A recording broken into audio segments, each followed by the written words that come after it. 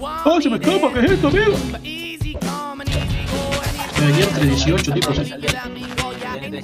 Uh, lo vi, lo vi, lo vi. Pero es que el ansia por matar a uno de esos cabrones que me estaba dando muchísimo. Ah, no, sí, estoy, estoy a full. El man está estudiando como perra.